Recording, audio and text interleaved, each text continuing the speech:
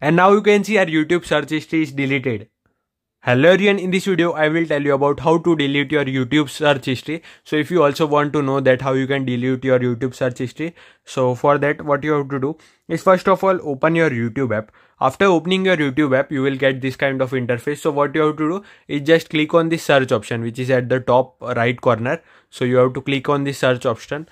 After clicking on the search option, you can see these are all my searches done by me. Uh, so if you want to delete all your search history, so it is very simple. For that, First of all, if you want to delete a particular search history, for example, if you want to delete this search history, so how you can delete? For that, first of all, you have to tap and hold on that uh, history. After tapping on that search, you have to click on option named remove so here you can see a option named remove you just have to click on this remove option and now you can see that search history has been deleted but now if you want to delete your whole search history then it is also very simple. For that what you have to do is first of all click on this back option. After clicking on this option you will get uh, this kind of interface. So now what you have to do is first of all come at the bottom right corner. Here you will get an option named you or here will be your profile photo. So what you have to do is just click on your profile photo or this option. After clicking on this option you will get a interface like this and here will be your channel's name or your name. So what you have to do first of all you have to click on this option uh, which is settings at the top right corner. After clicking on this option you will get a lot of settings. So first of all you have to select option uh, which is uh, manage all history. So what you have to do is just click on this manage all history option.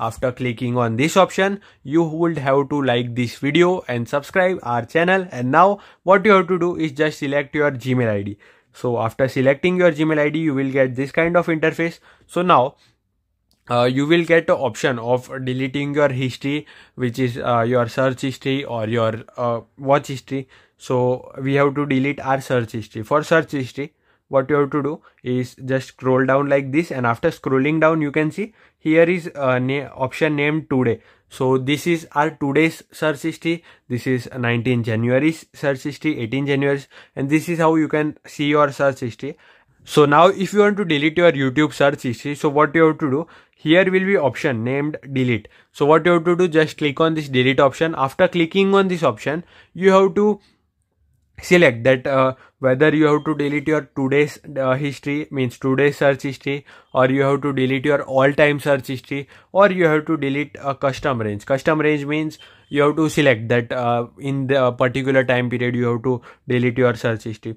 So what you have to do uh, whether you have to delete your uh, today's search history then you have to click on this delete today. If you want to delete your all time search history so you have to select this delete all time option. After clicking on this option you will get a uh, interface like this. So what you have to do at the uh, bottom you will get an option named delete so you just have to click on this delete option and just clicking on this option after clicking on this option, you can see deletion complete. This means that our search history has been deleted and now you can see our YouTube search history is deleted. So this is how you can delete your YouTube search history. If you like this video, then like this video and never forget to subscribe our channel. Thank you.